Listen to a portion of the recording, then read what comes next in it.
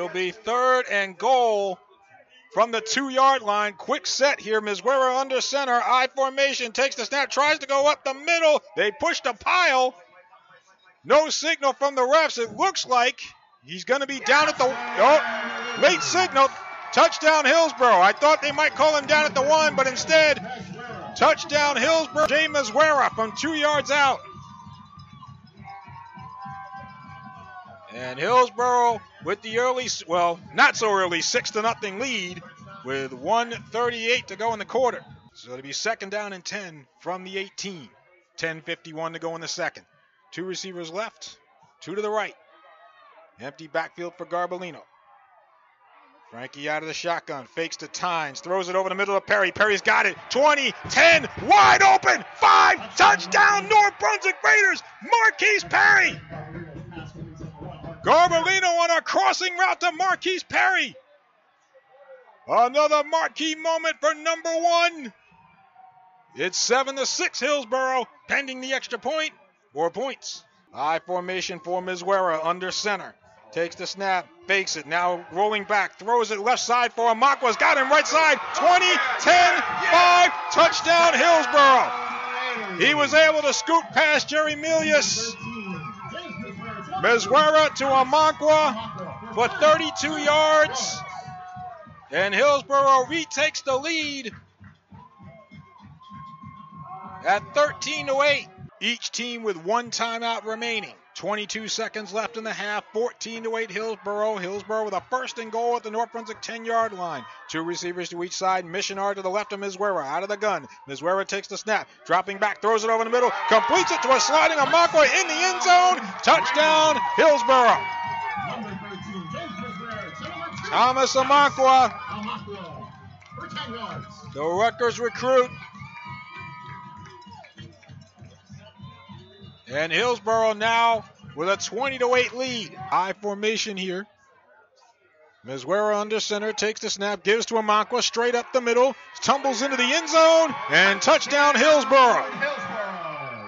Thomas Amankwa. Number two, Thomas Amankwa. His third touchdown of the game, two receiving and now one rushing. And Hillsborough has jumped out to a 27 to 8 lead. High formation, Missionar the deep back. They'll give to Volpe. He tries to get in. And touchdown Hillsborough for Sal Volpe. Number 44, Sal Volpe. So Volpe with the touchdown. He had a touchdown three weeks ago against North Brunswick and gets one here 34 to 8 Hillsborough pending the extra point. And so one more knee will wrap this one up. My thanks to the Foxes here in the press box.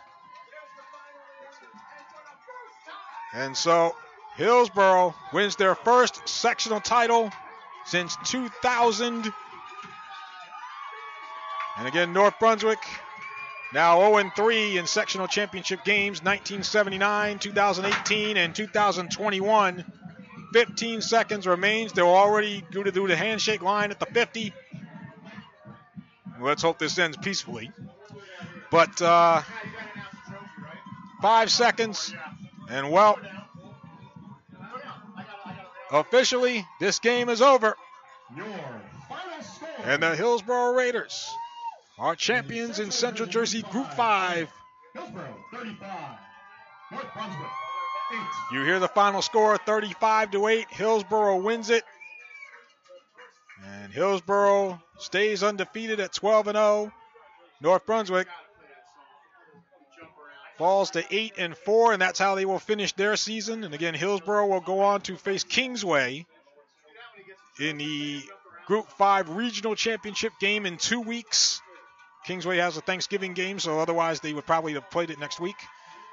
But you know, North Brunswick had an 8 to 7 lead in this game, but after that it was all Hillsborough. Hillsborough scoring 28 unanswered points. Thomas Amankwa with a pair of touchdowns in the first half, another one in the second half. James Wera really took over the game in the second half on offense for Hillsborough.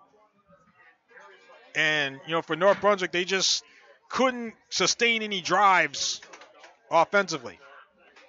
You know, just couldn't sustain any drives, couldn't run the ball, which has been problematic majority of the season.